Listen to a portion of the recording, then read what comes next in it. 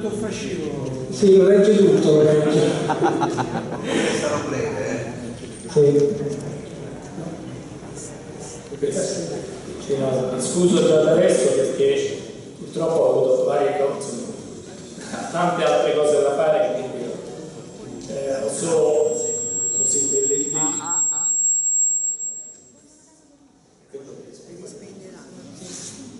degli spunti che vi do. Parto proprio dall'ultima frase che ha detto Massimo, Neo. Eh, allora io mi sono andato a vedere, anche che stavo rimettendo a posto un po' di carte, e mi sono usciti dal faldone pieni di eh, polvere le carte dell'housing sociale iniziali. Stiamo parlando di questo, per esempio, uno studio del Politecnico di Milano del 2006 sull'housing sociale. Quindi diciamo non è, non è l'inizio, ma non è neo, oramai c'è più di 13 anni eh, l'idea dell'housing sociale. Ed è veramente interessante andarsi a vedere questi, eh, quello che si diceva nel 2006-2007. Eh, qui io ho fatto appunto alcune copie e si parlava eh, del fatto che i canoni dell'housing sociale nel 2006 venivano spacciati a 6 euro metro quadro mese. Noi sappiamo che oggi i canoni dell'housing sociale vanno intorno ai 9, 10, a 11 euro metro quadro, almeno così a Roma. E quindi venivano spacciati per questo come cosa eh, che sarebbe stato eh, veramente, insomma, tu, che chiunque poteva andare prendersi casa, che sarebbe stato il, eh, la panacea degli ultimali e con questo sono stati anche eh, dati tanti soldi perché con questa promessa di canoni eh, bassi. questo è il, diciamo,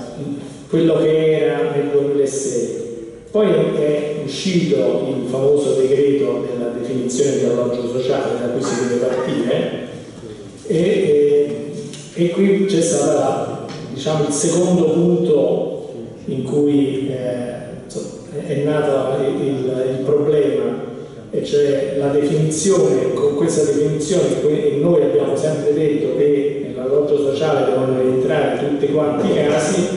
e che comunque tutti quanti i canoni dovevano passare per gli accordi territoriali, perché dovevano, dovevamo noi sindacati indicare quali erano i canoni. In realtà tutto quanto questo non è mai avvenuto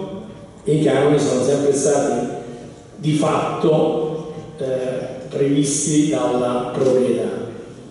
Eh, questo qui quindi il, il problema, la, la cosa che è politicamente importante da vedere per anche il futuro è che troppo spesso e ancora oggi ci spacciano lì per lì delle novità che potrebbero portare a cambiamenti tali che eh, poi i canoni verranno abbassati, ci fanno dire va bene, eh, possiamo provare con la sociale, noi ci siamo opposti ma neanche troppo perché sembrava all'epoca appunto che si potevano fare tante case popolari, tante case a un canone basso e quindi abbiamo in qualche modo agevolato anche noi questo l'idea dell'housing sociale non l'abbiamo combattuto a priori dopodiché ci siamo ritrovati quello che credo in tutte quante le città ci sia cioè canoni assolutamente fuori ancora più alti del mercato. E, e questo è quello che sta avvenendo con la trasformazione del, eh, degli istituti case popolari, aziende o altro, piano piano, con, eh, dicendo non parliamo più di edilizia sovvenzionata, di case popolari, parliamo dell'alloggio sociale e hanno ridato il nome all'housing sociale, cioè oggi l'housing sociale non si parla più di housing sociale, si parla di eh, alloggio sociale e con questo ci fa, avendo cambiato il nome, perché ormai noi abbiamo capito che l'housing sociale è una fregatura e quindi vogliono cambiare e piano piano li nelle varie norme de, delle leggi regionali si sta utilizzando la parola alloggio sociale dicendo cambiamo l'impostazione del, eh, della casa popolare in casa genericamente eh, diciamo, eh, appunto, sociale più, eh, e questo comporterà automaticamente il primo, il cambiamento, che già in molte situazioni c'è stato, il cambiamento del, dell'esistenza stessa degli istituti, e cioè da, eh, da un welfare si passa a un chiamiamolo canone calmerato, pur sempre si sta sempre all'interno di un bilancio che deve andare a pareggio, che è una cosa completamente diversa rispetto a quello che è invece l'idea della casa popolare. Eh, in ogni regione si fa in modo diverso, appunto si va inserendo il, il, il pareggio di bilancio all'interno delle aziende oppure facendole diventare vere e proprie eh, società, SPA o altro. Queste in ogni regione stanno tentando di modificare da edilizia sovvenzionata a alloggio sociale e questo è quello che noi dobbiamo contrastare, cioè eh, l'idea stessa che del, del, passare da un, eh,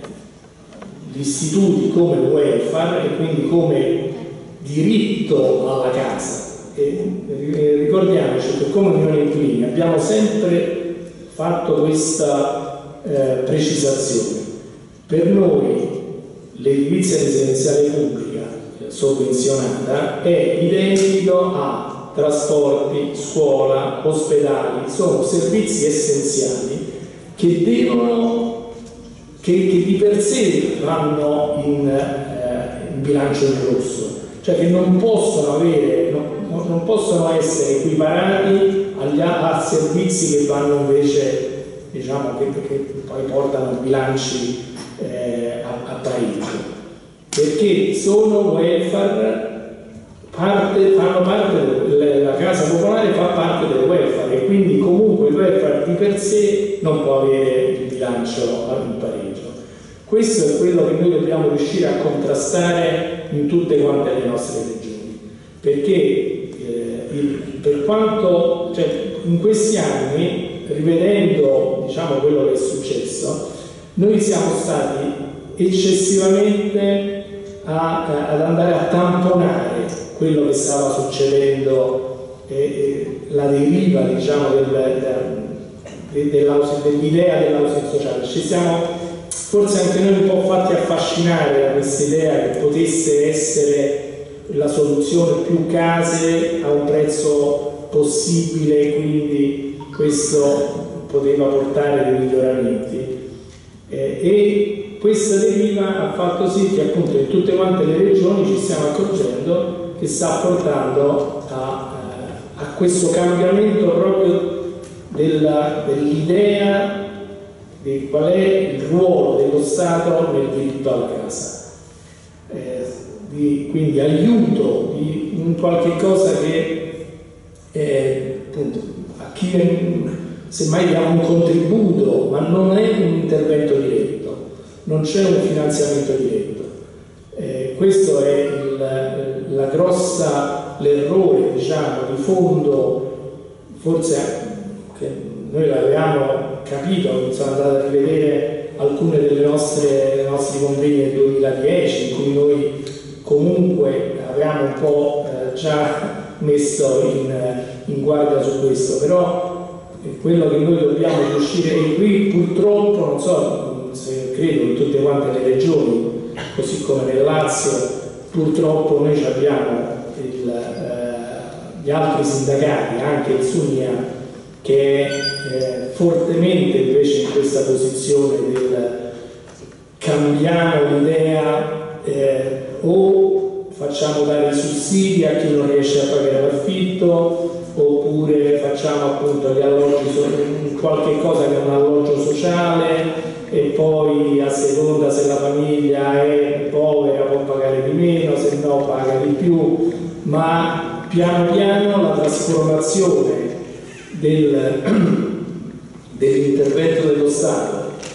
istituti case popolari, eh, agenzie eh, per l'affitto o quant'altro, che era pubblico, piano piano sta diventando privato. La seconda cosa, sempre sul, eh, quello che è housing sociale, cioè il, ehm, che sono i privati, appunto, è che poi l'housing sociale che nasceva come anche intervento pubblico, quello non c'è stato per niente e quindi si è delegato completamente ai privati. Quindi non so se ci sono nelle varie regioni delle eh, norme più precise sulla scelta dell'inquilino, ma per esempio noi nel Lazio non siamo mai riusciti a far sì che la scelta dell'inquilino che entra nell'housing sociale in qualche modo sia trasparente, sia eh, governata in qualche modo dal, dal pubblico. Eh, c'è sempre stato detto no, questo è un rapporto privato e quindi il gestore dell'housing sociale poi si sceglieva gli inquilini e sappiamo quello che c'è dietro a questa scelta del, dell'inquilino che è ricattato, ricattabile e quindi non c'è nessuna possibilità di eh, intervenire e capire se effettivamente viene dato a chi aveva le caratteristiche. Eh, questo è il, diciamo, quello che è avvenuto in tutti quanti questi anni. Eh, il, eh,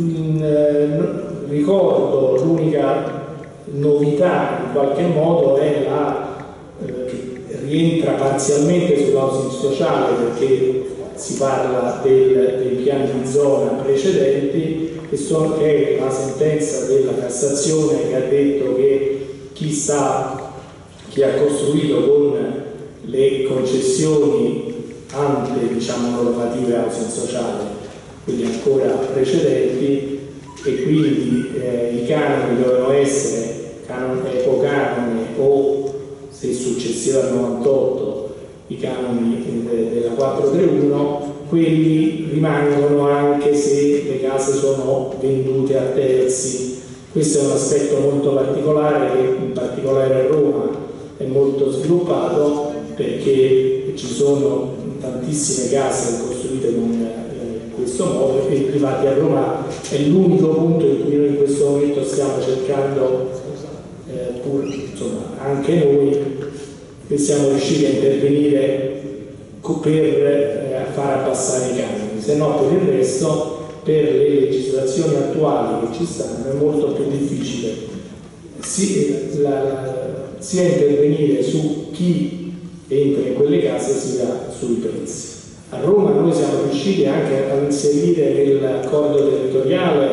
che i prezzi dell'housing sociale debbano rientrare all'interno del, dell'accordo, però anche qui è, molto molto difficile riuscirlo a, poi effettivamente a, a,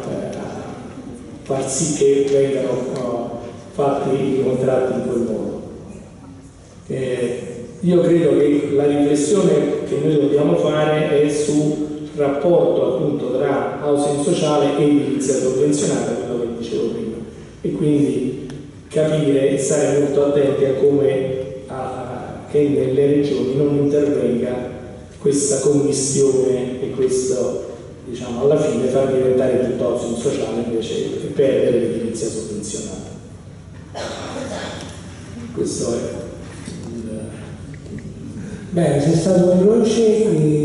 ed è importante questo. Eh, chi vuole intervenire, Gianni Belli, vieni perché Milano dove sono i punti Cairo, Castello Trieste e altri soggetti piuttosto pesanti in intervento a Milano.